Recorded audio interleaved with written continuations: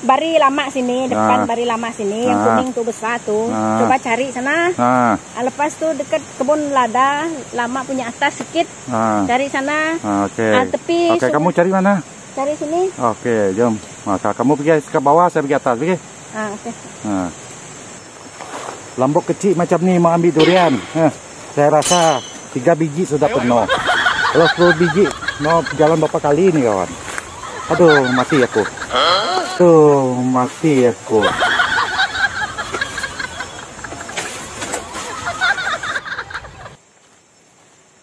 Mana jalan?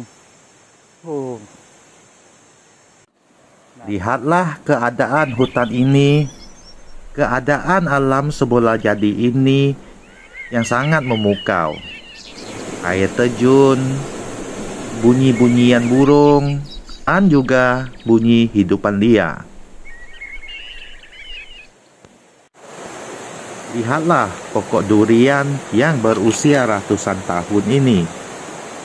Di sini juga adalah tempat yang sesuai untuk merasai kedamaian yang disertai bunyi-bunyi air yang mengalir. Segala stres kita akan hilang serta-merta.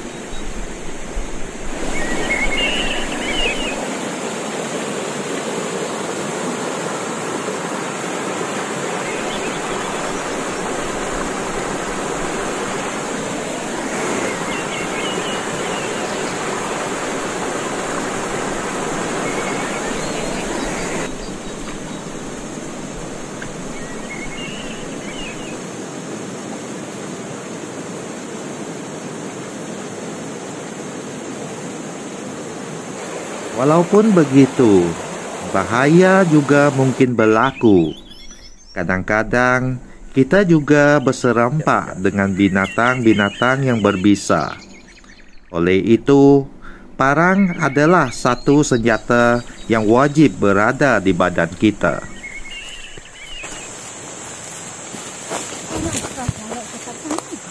Apa tu? Durian. Durian. Sadam gitu. Mana sadam?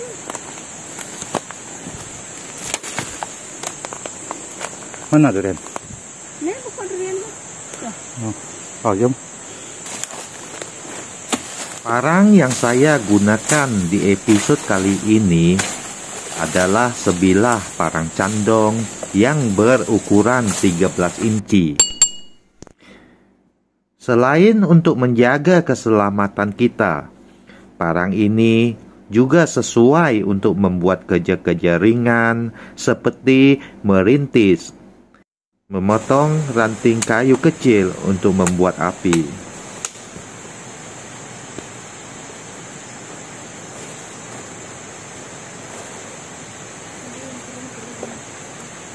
Satu buka, semua buka ha.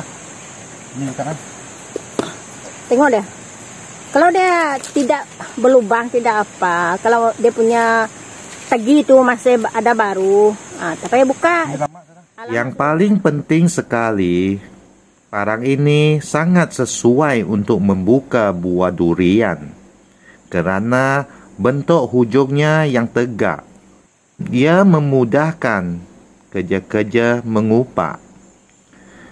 Oleh itu, parang candong adalah parang yang paling sesuai untuk kita ketika mencari buah durian di dalam hutan. Bagus deh isi. Sebab dia sudah lama jatuh, bah. Kalau dia tidak lama jatuh, memang isi dia bagus. Kalau dia baru jatuh, memang bagus. Sebab ini ada lama sudah.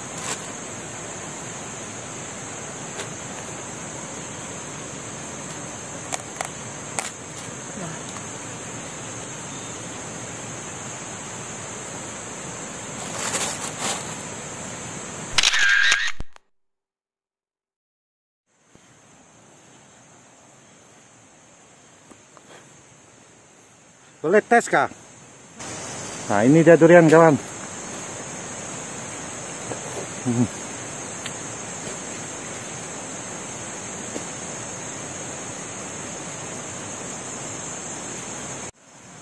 Oke, coba gambar saya, saya tiup deh, saya cakap panas dulu deh. Ha. Hmm. Ini durian ada panas sedikit dah. Baru masak ha. Ha. Dia ada panas.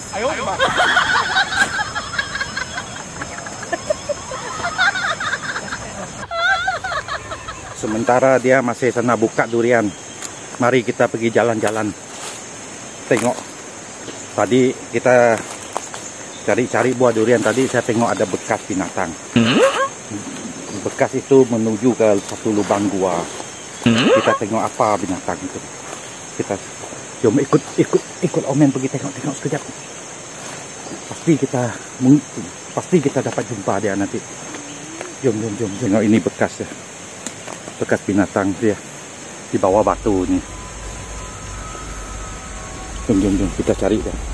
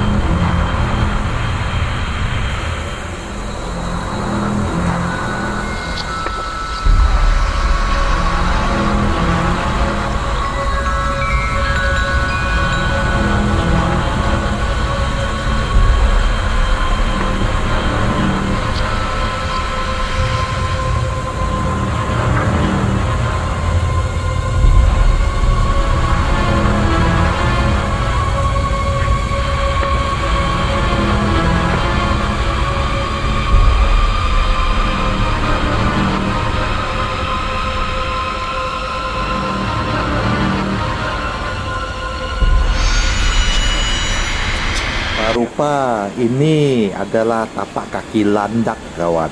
Ha, di dalam sana ada lubang dia. Ini lubang landak.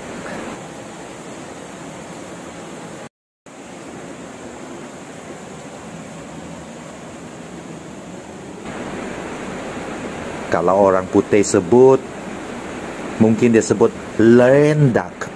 Lendak. Oke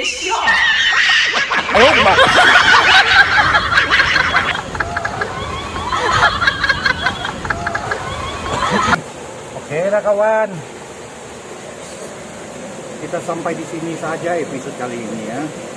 Ah, kalau suka rancangan Omen, bolehlah subscribe ya. Supaya tidak ketinggalan di episode yang akan datang.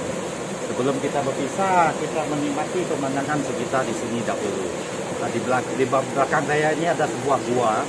Di dalam tadi kita sudah tengok ada bekas-bekas binatang. Itu landak itu.